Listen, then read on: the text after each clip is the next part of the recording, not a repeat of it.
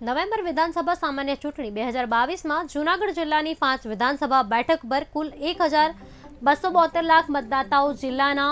એક હજાર ત્રણસો છેતાલીસ મતદાન મથકો પર પોતાના મતાધિકારનો ઉપયોગ કરી શકશે. આ સંદર્ભે જિલ્લા ચૂંટણી અધિકારી અને કલેક્ટર રચિત રાજે પત્રકાર પરિષદ સંબોધતા જણાવ્યું કે જૂનાગઢ જિલ્લાની પાંચ વિધાનસભા બેઠકો પર પાંચ નવેમ્બરથી ચૌદ નવેમ્બર સુધી ઉમેદવારો ઉમેદવારી નોંધાવી શકશે. જિલ્લા વિકાસ અધિકારીની અધ્યક્ષતામાં ચૂંટણી ખર્ચ પર દેખરેખ રાખવા માટે કુલ ચુંબોતેર જેટલી ટીમની રચના કરવામાં આવી જે સમગ્ર ચૂંટણી દરમિયાન ઉમેદવારો સહિતના ખર્ચા ઉપર દેખરેખ રાખશે કલેક્ટરે જણાવ્યું કે પાંચ વિધાનસભા મતક્ષેત્રોના પચાસ ટકા મતદાન મથકનું લાઈવ વેબકાસ્ટિંગ કરવામાં આવશે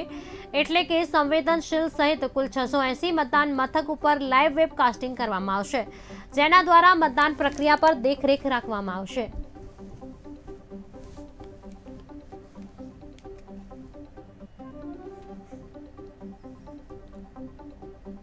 હાલ બે હજાર બાવીસમાં જો લેજિસ્લેટિવ એસેમ્બલી ઓફ ગુજરાતની ચૂંટણીની જાહેરાત થયા છે ઇલેક્શન કમિશન મારફતે સો આ જુનાગઢ વતી અને જિલ્લા વહીવટીતંત્ર વતી હું જાહેરાત કરી છું કે તમામ જિલ્લાની ચોક્કસ રીતે તમામ everyone is ready foolproof ready અને તમામ સ્ટેટ્યુટરી પોસ્ટ આરઓ પાંચ આરઓ અને અગિયાર એ આરઓની પોસ્ટ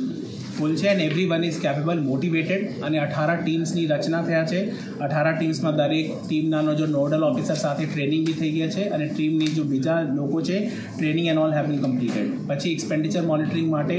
સેવન્ટી ફોર ટીમ્સની રચના થયા છે and every team has been motivated અને ચોવીસ ઇન્ટુ સેવન કલાક control room AC wise control room અને district wise control room has been made and it will be operational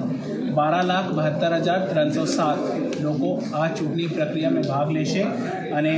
બત્રીસ હજાર પાંચસો પંદર લોકો જો અસી વર્ષની વધારેની ઉંમરની માણસ છે દે વિલ ટેક પાર્ટ પછી ચૌદ હજાર three hundred forty one people જો પીડબ્લ્યુ ડી છે સ્પેશિયલી એબલ છે આ આ લોકો ભાગ લેશે ચૂંટણી પ્રક્રિયામાં પછી ટોટલ ક્રિટિકલ પોલિંગ સ્ટેશન ત્રણસો છત્રીસ છે